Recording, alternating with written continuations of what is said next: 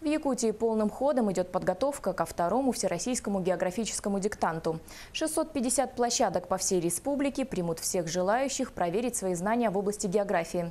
Диктант пройдет по всей стране в единое время 20 ноября в 12 часов дня и продлится 45 минут.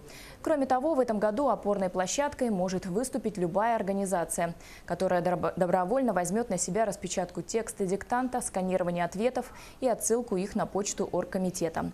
Также можно пройти онлайн-тестирование в сети интернет на сайте Русского географического общества.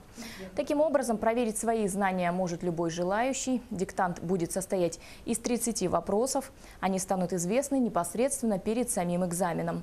А результаты работ участники смогут узнать после 25 декабря. узнать, насколько население знает географию России.